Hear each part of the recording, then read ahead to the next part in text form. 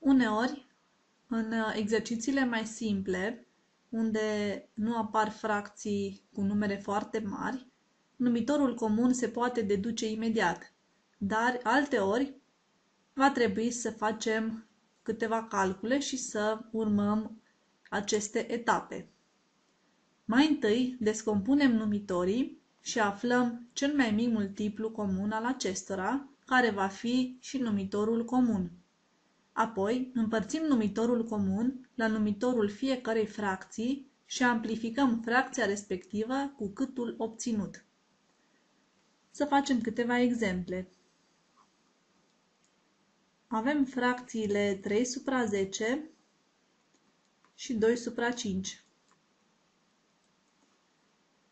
Deoarece 10 este un multiplu al lui 5, automat numitorul comun va fi 10.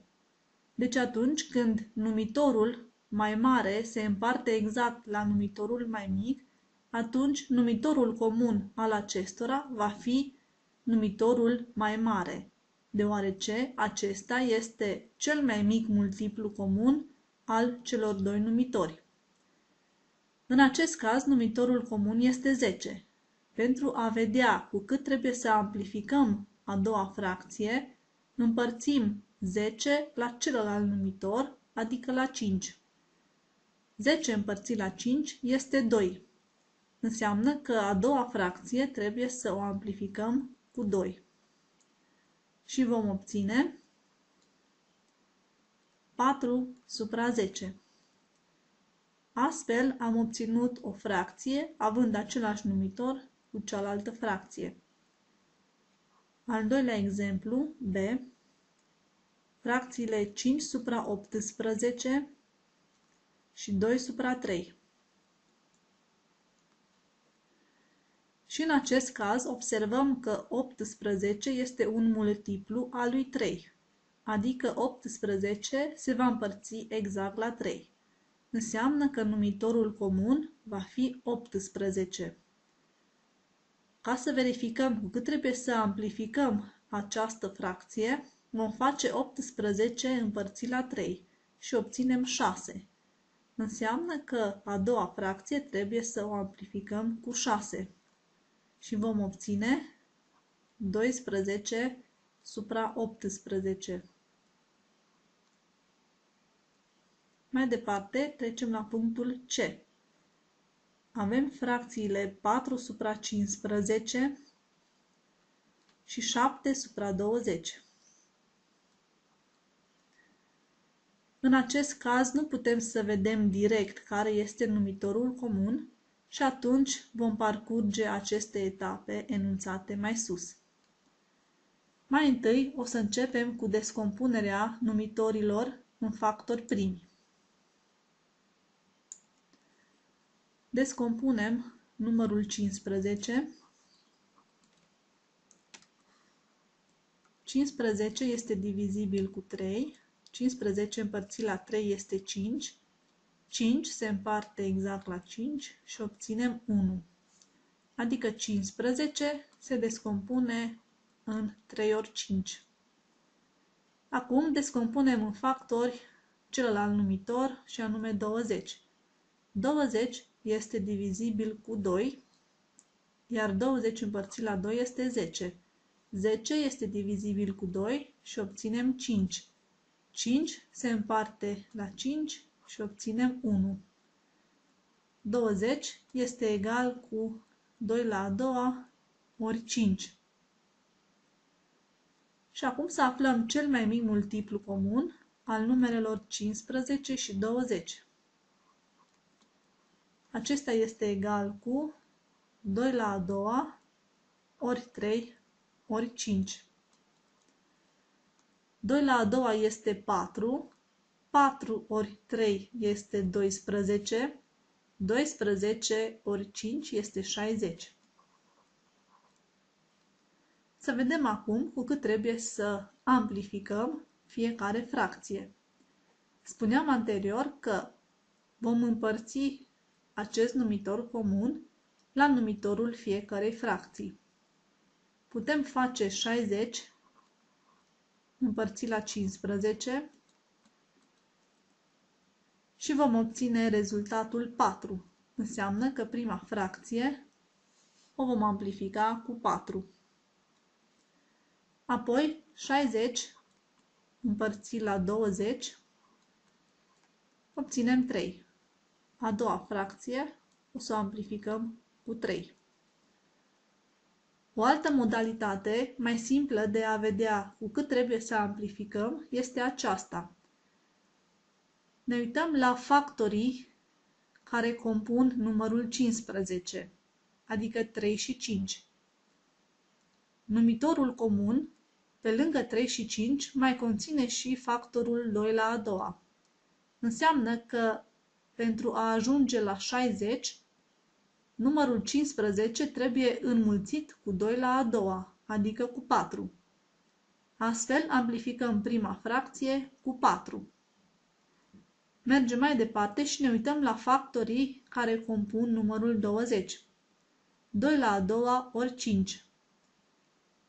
Numitorul comun, pe lângă 2 la a doua și 5, mai conține și factorul 3.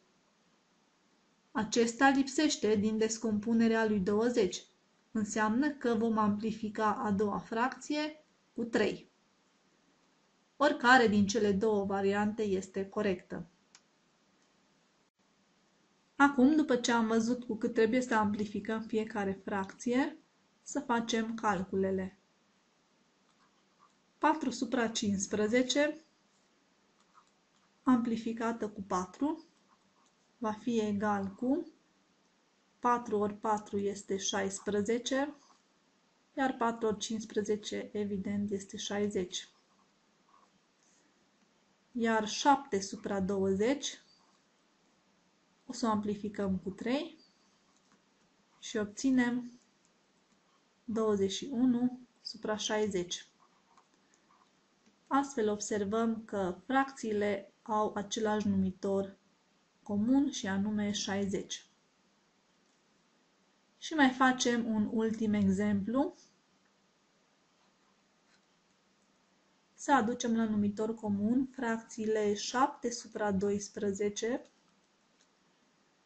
1 supra 54, 5 supra 36. Vom uh, parcurge aceleași etape ca și mai sus. Vom descompune fiecare numitor în factori primi. 12 este divizibil cu 2, 12 împărțit la 2 este 6, 6 e divizibil cu 2, 6 împărțit la 2 este 3, 3 se împarte la 3 și obținem 1. 12 egal cu 2 la a doua ori 3. 54 este divizibil cu 2. 54 împărțit la 2 este 27. 27 este divizibil cu 3 și obținem 9. 9 se împarte exact la 3 și obținem 3. 3 împărțit la 3 este 1. 54 este egal cu 2 ori 3 la puterea a treia. Și ultimul numitor, 36. 36 e divizibil cu 2. Rezultatul împărțirii este 18. 18 este de asemenea divizibil cu 2. 18 părțit la 2 este 9. 9 se împarte la 3. Obținem 3. 3 împărțit la 3 este 1. 36 va fi egal cu 2 la puterea a doua ori 3 la puterea a doua. Cel mai mic multiplu comun al numerelor 12, 54 și 36 va fi 2 la a doua ori 3 la a treia, adică 4 ori 27. 4 ori 7 este 28, 4, 2, 8 și cu 2, 10. Deci numitorul comun va fi 108. Să vedem cu cât trebuie să amplificăm fiecare fracție. 108 împărțit la 12 este egal cu 9. 108 împărțit la 54 este egal cu 2 și 108 împărțit la 36 este egal cu 3. Așadar, prima fracție o să o amplificăm cu 9, a doua fracție cu 2 și ultima fracție cu 3. O să scriem de desubt 7 supra 12 amplificată cu 9 va fi egal cu 63 supra 108 1 supra 54 o să o amplificăm cu 2 și obținem 2 supra 108 și 5 supra 36 o să o amplificăm cu 3 și obținem 15 supra 108. Așadar, toate cele trei fracții au același numitor comun, 108.